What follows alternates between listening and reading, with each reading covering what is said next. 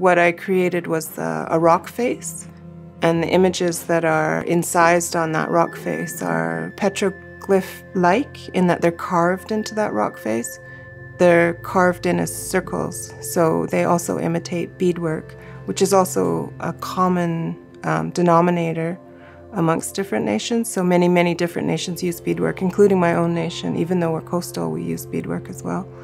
And so I thought that that would be a, a, good a good medium to kind of recognize. So it looks like beadwork, and it shows different images that are derived from different histories. I talked to different elders, and they talked about different subjects and approved what what could be on this rock face that would be representative.